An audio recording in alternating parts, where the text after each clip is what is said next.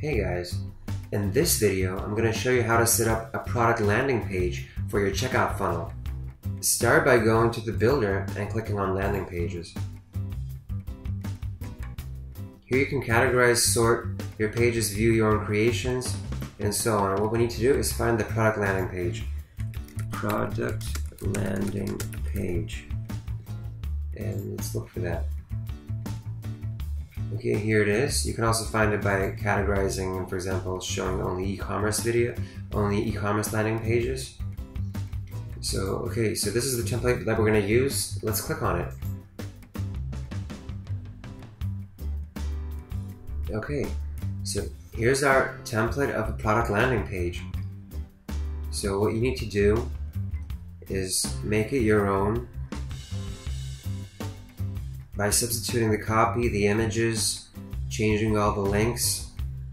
Make sure that you integrate with your e-commerce account beforehand so that, so that the products can be uploaded easily. We have the different elements that you can add. You can also click on any element and change it, move it around, change its size. For example, you can just click the pencil icon on any element to change it. So once you're happy with the way that it, your page looks, once you've uploaded all the backgrounds and images, uh, preview that it looks good on all devices, and, and click next. Okay, in the management step, if your page has any forms, you will see them here and you'll be able to link a third-party web integration to exchange data quicker and so on. So make sure that you set everything up here, that you check all the boxes to track the links inside your uh, on your page. So once again, preview what everything will look like ultimately.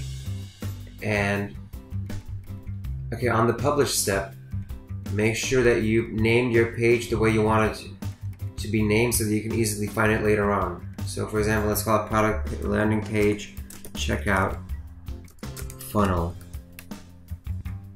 And we want to publish the page on Shopify. So let's click on Shopify here and we have the link at the bottom. So let's copy the, this URL and publish our page. So now we have the product landing page for the checkout.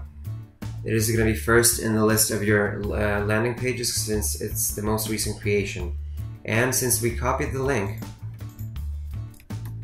we can go ahead and see what it looks like. And there it is.